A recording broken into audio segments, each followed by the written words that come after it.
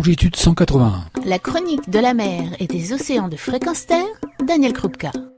Bonjour, dans cette chronique dédiée à l'océan, à sa protection, j'ose aborder le problème de ses droits.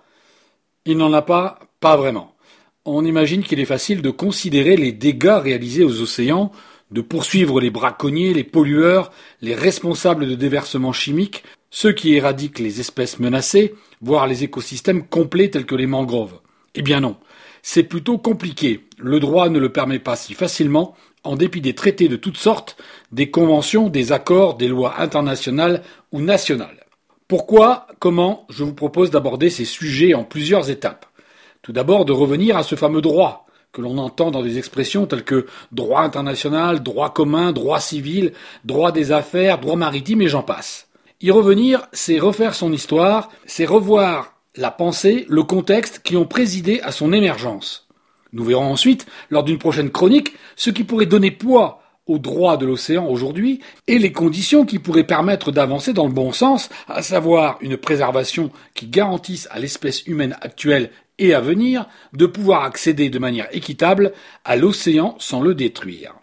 Mais revenons quelques siècles en arrière pour retrouver les origines du droit actuel qui régit nos relations et nos vies. Ceci grâce au livre de Valérie Cabanès, Un nouveau droit pour la Terre, publié aux éditions Seuil, que j'ai abondamment pillé et que je paraphrase ici pour expliquer pourquoi nous en sommes là. Tous les organismes et instruments juridiques internationaux n'ont pas su enrayer les catastrophes écologiques que nous connaissons. Nous avons oublié de mentionner que les individus, les citoyens, les nations sont dans un même milieu dont ils dépendent tous, la Terre, notre planète bleue. Pourtant, c'est pas faute d'avoir des pensées humanistes. Alors cette pensée humaniste, où nous a-t-elle conduit et comment?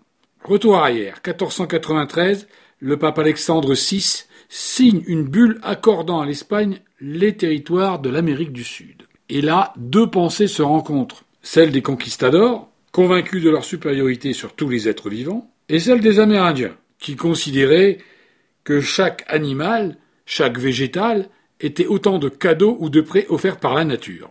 En dehors des conquistadors, quelques réflexions furent entamées. Des réflexions sur la citoyenneté mondiale et sur des formes de société pacifiées. Par exemple, Thomas More, 1478-1535, qui propose dans son livre Utopia une société organisée de façon égalitaire, pacifique et désintéressée. Cela inspira également les colons installés en Amérique du Sud, qui prônaient de nouvelles lois, telles que l'interdiction de l'esclavage, ou la défense des droits humains fondamentaux, ou leurs droits, leur souveraineté sur les terres et les autres possessions qui étaient celles des Indiens d'Amérique du Sud avant l'arrivée des Espagnols. À ce moment-là est édifié un droit, le droit des gens, où les entités politiques deviennent des sujets de droit. Et ce droit des gens émane des nations et non d'une justice divine. Dans ce droit, on y trouve le droit de commercer, le droit de communiquer. C'est un droit sans frontières qui est fondé sur la notion de patrimoine commun et qui aurait dû servir de socle à un respect universel des droits de l'homme. Malheureusement, ce droit fut surtout utilisé pour asseoir la suprématie des nations, notamment sur les petites gens. Un autre juriste et philosophe, Hugo Grotius, 1583-1645, renforça le rôle de l'État et conduisit à soumettre les peuples à une nouvelle personnalité morale, la communauté internationale, avec comme objectif la libre circulation des marchandises. Ce fut ainsi que furent posées les premières pierres du droit international actuel qui régit la relation entre les États.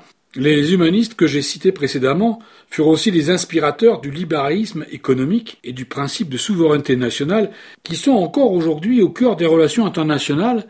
On doit à Adam Smith, 1723-1790, que l'homme est un être économique rationnel et qu'il cherchera spontanément l'intérêt général au travers de son intérêt personnel.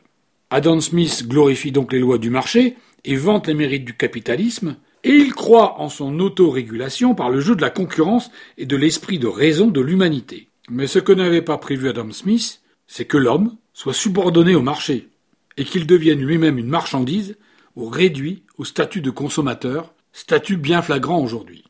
C'est dans ce contexte que la conquête de l'Ouest américain mettra définitivement à mal le peu d'utopie égalitaire prônée par les philosophes que j'ai cités précédemment. L'économie de marché s'est imposée à toutes les nations, et le fait d'avoir cru que les nations se comporteraient de façon rationnelle, à l'image de l'individu, et s'autodisciplineraient entre elles, apparaît comme très naïf.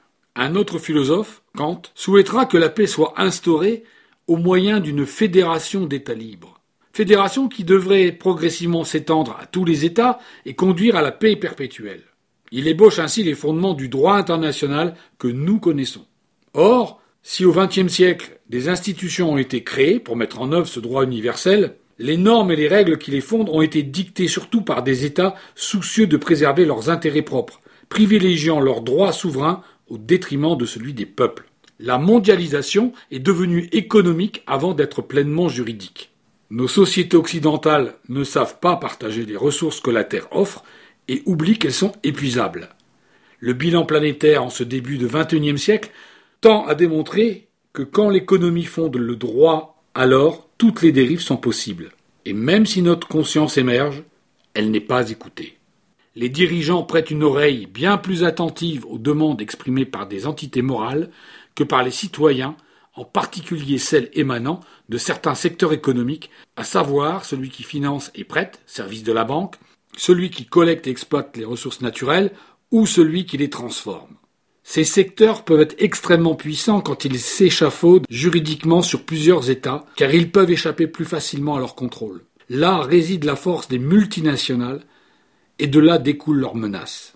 Dans ma prochaine chronique, nous reverrons ce qui se passe aujourd'hui au XXIe siècle, et je vous recommande, si vous voulez en savoir plus, ou retrouver les éléments qui m'ont permis de constituer cette chronique, de vous procurer l'ouvrage écrit par Valérie Cabanès, intitulé un nouveau droit pour la Terre et édité aux éditions du Seuil. À bientôt pour un prochain épisode. Retrouvez et podcastez cette chronique sur notre site fréquence